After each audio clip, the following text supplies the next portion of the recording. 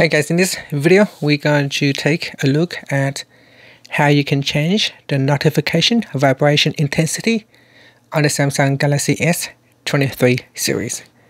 First tap on the home button to go back to the home screen. And from the home screen, swipe down at the top and tap on the settings icon.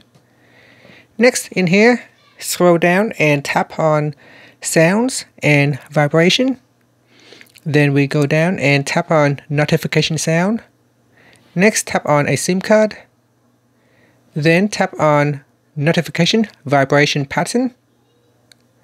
Next in here to change the vibration intensity for notification, simply drag on the bar to the left to decrease the intensity. Or to increase the intensity, you can drag the bar to the right hand side. And that's it.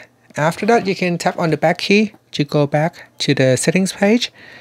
Uh, tap on the home button to go back to the home screen. Thank you for watching this video. Please subscribe to my channel for more videos.